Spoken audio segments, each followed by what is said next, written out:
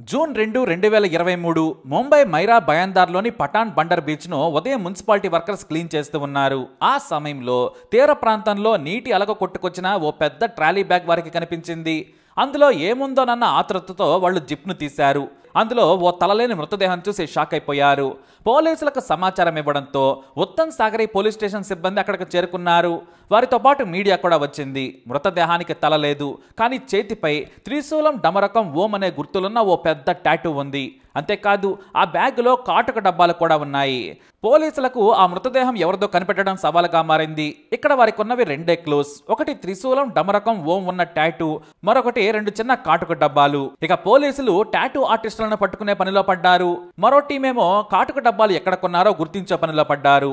ఇక ఈ టాటూ ఆర్టిస్టులు తమ ఏరియాలోనే చుట్టుపక్కల ఇరవై ఐదు మంది వరకు ఉన్నారు. ఆ ఆర్టిస్టులందరికీ కూడా మృతదేహం చేతిపై ఉన్న టాటూను చూపించారు. వాసాయి నలాసోపారాలోని టాటూ ఆర్టిస్టులను సంప్రదించారు పోలీసులు. వారందరూ కూడా తాము ఈ టాటూ వేయలేదని చెప్పారు.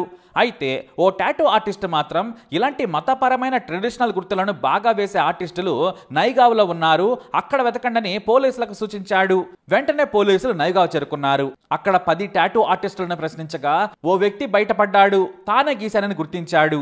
అంతేకాదు అతనికి అలవాటు ఉంది అతను ఏ టాటూ వేసినా కూడా వారి వివరాలను కూడా రాసి పెట్టుకుంటాడు. ఫోటోలు కూడా తీసి తన ఇన్స్టాలో పోస్ట్ చేస్తూ ఉంటాడు. ఆ సదరు వ్యక్తి ఈ టాటూను చూసి తన ఇన్స్టాలో పరిశీలించగా దొరికింది. ఆ ఫోటోను పోలీసులకు ఇచ్చాడు. అంతేకాదు ఆ యువతి పేరు కూడా చెప్పాడు. ఆమె పేరు అంజలి మింటూ సింగ్. ఆమె వయసు ఇరవై మూడేళ్ళు. అడ్రస్ కూడా సూచాయగా రాసిచ్చాడు. అంతటితో ఆగలేదు. కీలకమైన ఫోన్ నంబర్ కూడా రాశాడు. దీంతో పోలీసులకు ఈ కేసును ఛేదించడం మరింత సులువైపోయింది. నాలుగు రోజుల పాటు టాటూ ఆర్టిస్టులను వెతుక్కుంటూ వెళ్ళిన పోలీసుల శ్రమ ఫలించింది. ఇక అడ్రస్ ప్రకారం కాలనీలోకి వెళ్ళగా యువతి ఫోటో చూపించగానే ఓ కిరాణా షాప్ యజమాని ఇల్లు చూపించాడు. పోలీసులు అక్కడికి వెళ్తే ఇంటికి తాళం వేసి ఉంది. పక్కింటి వారిని ప్రశ్నించారు పోలీసులు. ఫోటో చూపించగానే అంజలి అని గుర్తించారు. ఈమె తన బాయ్ ఫ్రెండ్తో లేచిపోయిందని తన భర్త చెప్పాడని తెలిపారు. అంజలి భర్త పేరు మింటూ సింగ్ అని తేలింది. మరెక్కడికి వెళ్ళాడు అంటే తన భార్య లేచిపోయిందని చెప్పి ఈ ఉదయమే తన పద్నాలుగు నెలల కొడుకును తీసుకొని స్వగ్రామానికి వెళ్ళాడని పోలీసులకు తెలిపారు. వెంటనే అన్ని రైల్వే స్టేషన్లకు మింటూ సింగ్ గురించి సమాచారం ఇచ్చారు పోలీసులు. సరిగ్గా దాదర్ రైల్వే స్టేషన్లో తన పద్నాలుగు నెలల కొడుకును ఎత్తుకుని రైలు కోసం నిలబడ్డ వ్యక్తిని నౌగర్ పోలీసులు గుర్తించి అదుపులోకి తీసుకున్నారు. అటు నుంచి అటే స్టేషన్కి తీసుకెళ్ళారు. అక్కడే సంచలన విషయాలు చెప్పాడు. అంతులని ఎందుకు చంపాడు? ఎలా మృతదేహం నుంచి తలను వేరు చేశాడో మీడియాకు పోలీసులు వివరించారు. మింటూ సింగ్ వయసు ఇరవై ఐదేళ్ళు ఇతను సెక్యూరిటీ గార్డ్గా పనిచేస్తూ ఉంటాడు.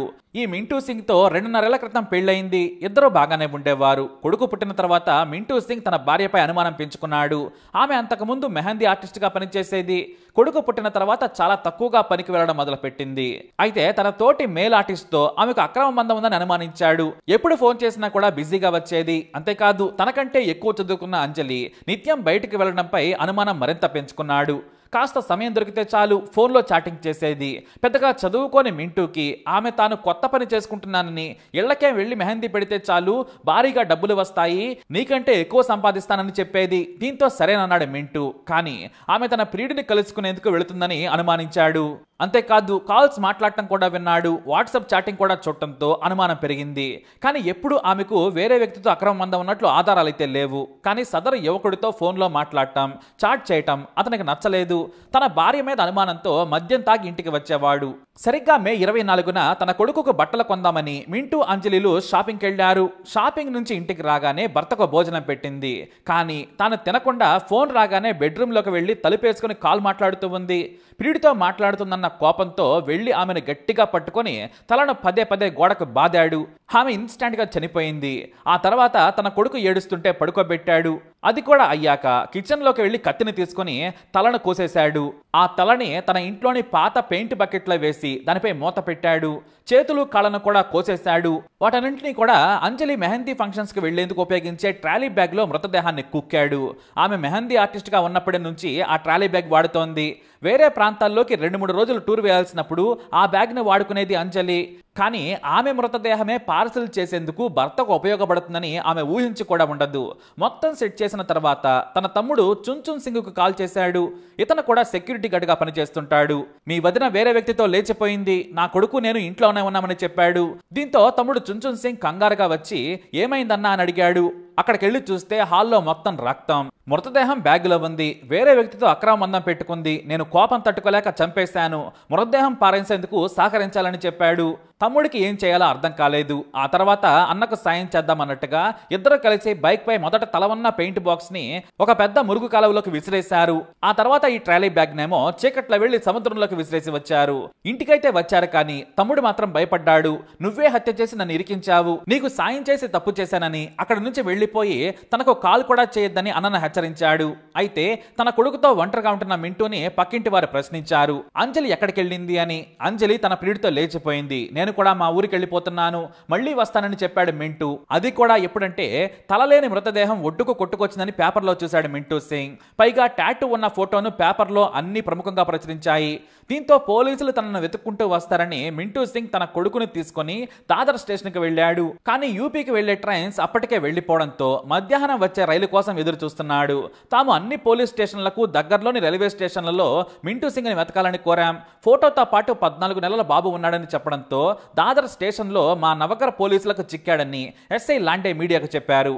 ఇద్దరు సోదరులను తాము అరెస్టు చేశామని పద్నాలుగు నెలల బాబునేమో శిశు సంరక్షణ కేంద్రానికి తరలించినట్లు కూడా తెలియజేశారు పోలీసులు.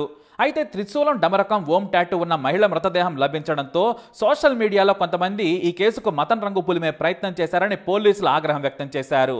ఇందులో మతం యాంగిలే లేదు.